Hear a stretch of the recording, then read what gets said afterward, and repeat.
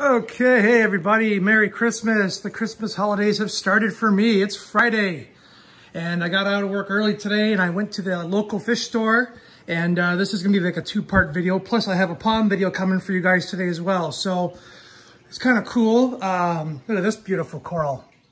Now how does that stand out with all the blue lighting? Beautiful, eh? And then I got a bird's nest, some SPS corals. But anyway, this video is not about them per se.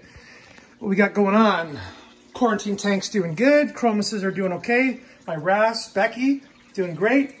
What the heck's this algae clip for? Why do I have algae in there? That's weird. Well, in this bucket, I have two fish.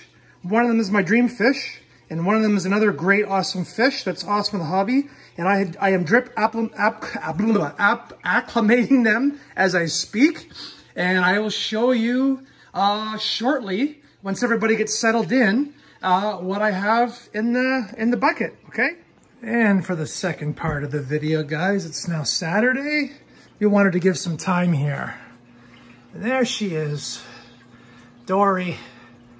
And uh, she's doing really good. She was the fish that uh, when we fed, when we fed the tank at the local fish store yesterday, this tang out of the 10 that were in there came right to the food right away and uh, was super relaxed so that is the one that I brought home. And she's doing well and she's enjoying this quarantine tank with all the live rock and the, I have caves and all kinds of beautiful natural hiding spots, which is really good. She actually slept under this rock last night. Uh, also in here, oh, see if you can see him. There he is. There's the other fish. There's my lawnmower, Blenny Herbie. He's a big boy, just chilling out. Beautiful fish, very odd looking, but they blend in with the rocks and they do a good job of cleaning algae. So I also have this clip here um, in case anybody wants to have a nibble of some fresh uh, uh, seaweed, uh, which is good for them. But um, so far, uh, Dory has been eating uh, shrimp and brine shrimp. Uh, haven't seen her really eat pellets yet, but uh, I have everything I need to make sure that she has a good diet and, and that she will make it through quarantine and then we'll be in my new tank that's gonna go right here in a week. And that tank still has to cycle and go through all its stuff too. But these fish, by the time that's ready, should be good to go. So I've got my little school of chromis. Uh, one of them's got Uronema, and uh, that might take them all out. So chromis have been a crapshoot now.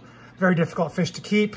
They come with Uronema, and that's it. They basically kill each other with the Uronema. Um, but uh, uh, hippotangs like Dory here, they don't usually have any issues with it. Uh, Becky, my wrasse, might.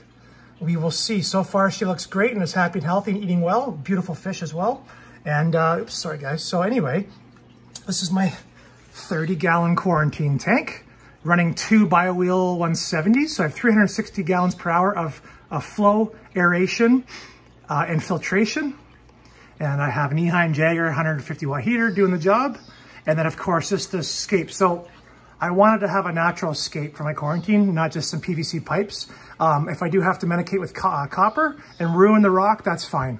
Uh, I got the rock for five bucks a pound. Um, so uh, I'd rather do that and have these fish happy because they love this natural uh, escape here, which is really neat. So there's Dory, kind of hiding on me there. But anyway, uh, there she is, guys. I got the Dory. My daughter was super happy uh, for her birthday. She was very excited. So hopefully Dory uh, will pass quarantine and be happy and healthy. We can keep her for a long time. That's the goal. So uh, that's the next stage and what we're doing here.